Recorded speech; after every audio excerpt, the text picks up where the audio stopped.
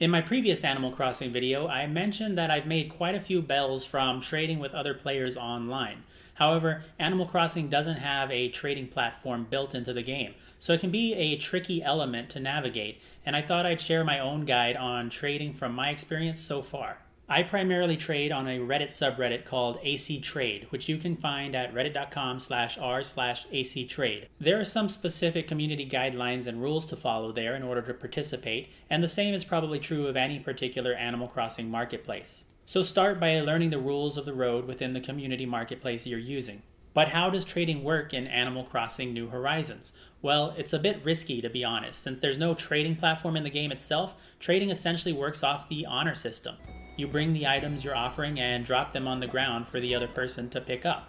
And they do the same. This can certainly lead to a Mexican standoff with neither party willing to drop their items first. It's particularly difficult when dealing with high value items, such as a rare DIY recipe that can be scooped up quickly. This is why picking a good marketplace is important, since there will be some sort of trust system built into it usually.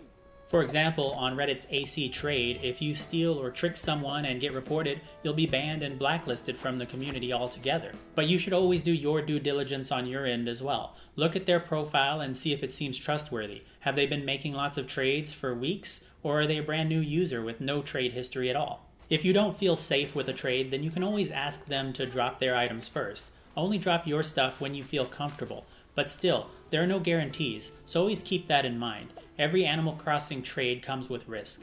And not just the risk of theft. The technical system isn't great either, and a poorly timed disconnect could leave you missing out. Some shady types might use that to their advantage, forcing a disconnect and then claiming it was just the internet cutting out. I had an issue once, though not during a trade, that resulted in me losing some bamboo trees. I had a friend over to pick up the trees for their island. They dug them up, and the game saved my island with the bamboo dug up, and then disconnected them, which reset them without the bamboo trees in their inventory, so the trees just disappeared. Still, we can't all live in fear of technical glitches. Once you've decided on a trade with someone, you'll either need to head over to their island or invite them over to yours. This is usually done with a dodo code, unless you're trading with people on your friends list. A dodo code is a five character code that lets someone search for your island without having to be on your friends list. You can limit the dodo code to friends or best friends, but for trades with people online, you'll want to choose the more the merrier option which will open your gate up to anyone with the code. Once you've opened your gate, just pass the code along to them in a private message. It's important that you don't post this code publicly, since then anyone could visit and may trick you into thinking they're the person you want to trade with, but really they'll just take your stuff and run. So keep the dodos private. Alternatively, you can go to their island using their dodo code. Just head over to the airport and enter the code when asked. It really doesn't matter whose island the trade happens on, it's just a matter of preference. However, if you're trading something like a bamboo tree, then you will need to be best friends with the person in order for them to actually plant the tree on your island or for you to plant it on theirs. Personally, I like inviting people to mine because it's easier to manage and I can tend to other things while I wait for them to arrive. I also have lots of random freebies for people to take if they'd like. Now, on to trading etiquette. Regardless of where the trade is going down, these are some things you'll want to keep in mind. First off, use emotes. Personally, I think this is a great way to ease tensions and help with trust issues. Granted, anyone can put up a facade and throw out a friendly emote, but it's reassuring to see someone do a basic greetings or joy emote. It tells you they're a nice and social player, not some emotionless bell farmer. I typically say welcome and throw out a greetings emote when someone arrives, or I give a simple hi when arriving on someone else's island. If you are inviting someone over, be sure to meet them at the airport. If you don't, they could wander off wherever and you won't know what they're up to. Also, it just makes things easier. If you aren't there, saying welcome or something helps since the dialog bubble indicates which direction you're in. If you're arriving on someone's island, just wait around outside the airport unless they've told you to go somewhere specific. Don't head off randomly trying to find them. I use fences to shut down the area around the airport so that limits their movement on my island. This is a must for me because I tend to keep a lot of objects just lying around that they could pick up and take with them if they wanted. So keeping them confined to one area prevents any kind of shenanigans. But also, if you're on someone else's island and wandering around and see something cool on the floor, it's probably not for you.